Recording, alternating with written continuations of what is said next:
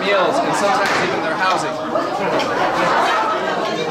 along with the rice, we have like some vegetables.